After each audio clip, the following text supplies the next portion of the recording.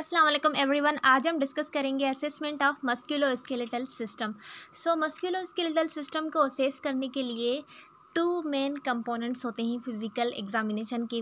Number one is inspection and second is palpation तो सबसे पहले आपने इंस्पेक्शन करना है।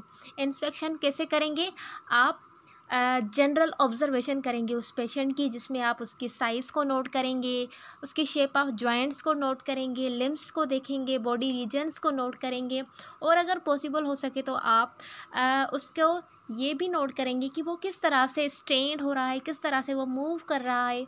और अगर वो मूव नहीं कर रहा तो आप उसको बोलेंगे कि वो मूव करे, वो आपको रूम में वॉक करके दिखाए।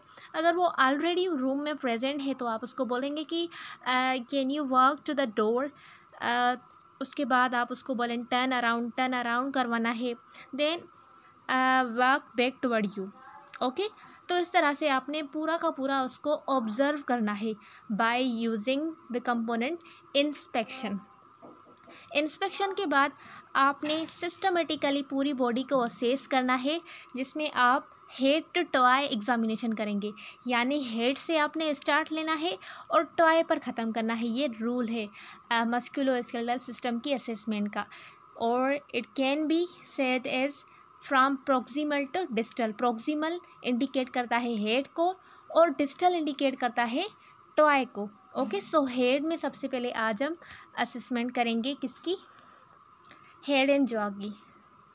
सो so, ये तो हो गया हमारा कम कंपोनेंट नंबर वन जिसमें हमने क्या किया? इंस्पेक्शन किया।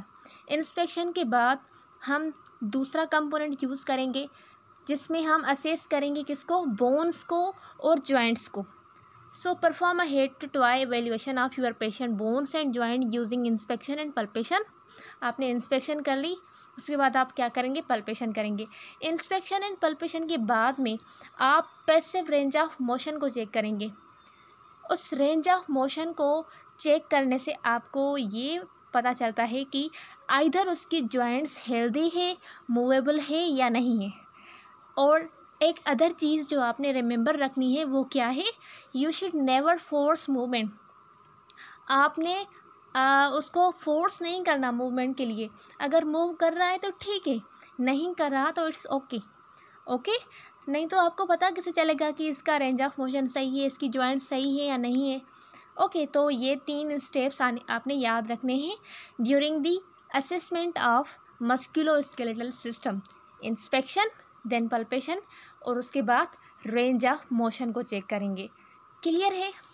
तो स्टार्ट लेते हैं। आज हम हेड से स्टार्ट करेंगे और टॉय पर ख़त्म करेंगे। तो आज हेड से ओनली हेड की आज हम असेसमेंट करेंगे ओके इस वीडियो में। सो हेड एंड जॉ सबसे पहले आपने क्या करना है इसमें? इंस्पेक्ट करना है, यानी ऑब्ज़र्व करना है पेशेंट के फेस को for any kind of swelling उसमें, उसके मुँह में कोई सूजन वगैरह तो प्रेजेंट नहीं है। उसकी सिमेट्री को देखना है कि उसकी सिमेट्री मेंटेन है या नहीं है। सिमेट्री अगर अच्छी है तो ओके नहीं है तो आप एसिमेट्रिकल लिख सकते हैं। Okay and evidence of trauma evidence of trauma का मतलब है कि क्या उसके फेस के ऊपर या उसके हेड के ऊपर किसी भी तरह के कोई ट्रामा के निशान या एविडेंस तो नहीं है जो आपको इंडिकेट कर रहे हैं कि इसको ट्रामा हुआ है। ओके ये सारा कुछ आपको किससे पता चलेगा? By doing a good observation और ऑब्जर्वेशन किसमें करेंगे आप?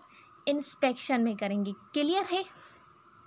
उसके बाद mandible should be in the mid line जो मैंडिबल है, वो मिड लाइन पर होना चाहिए।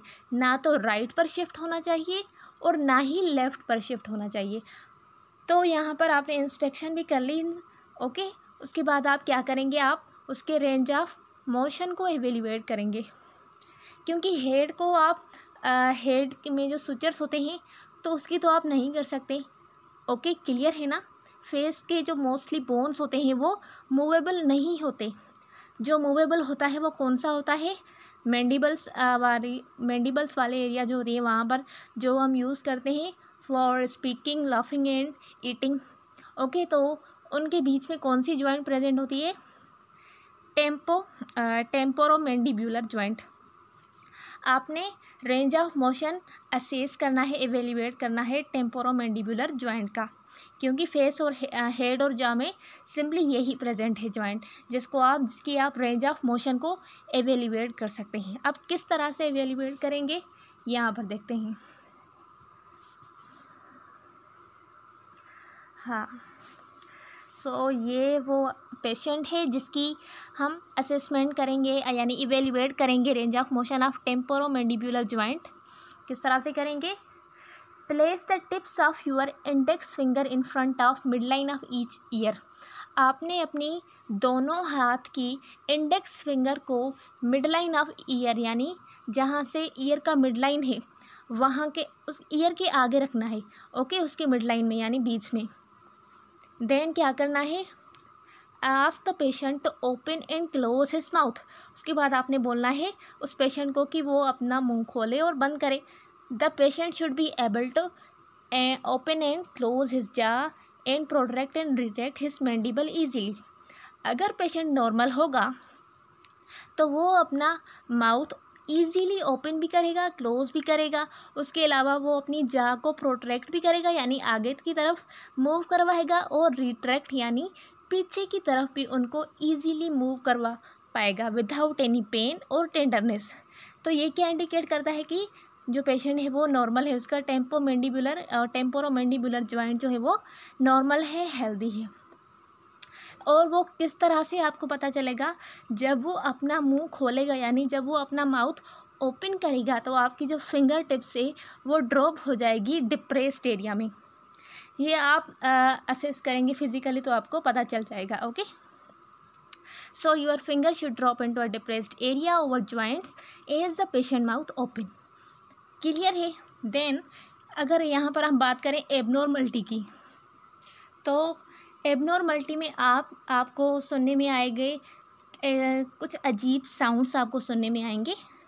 अगर आपको आ, सुनने में कुछ साउंड्स आ रहे हैं या फिर पलपेट करने के दौरान आपको कुछ क्लिक या फिर ऐसे कुछ अजीब साउंड्स मिल रहे हैं जब पेशेंट अपना माउथ ओपन कर रहा है तो you have to suspect an improperly aligned jaw इसका मतलब है कि जो जा है, वो इम्प्रॉपरली अलाइंड है, या तो उस एरिया में स्वेलिंग है।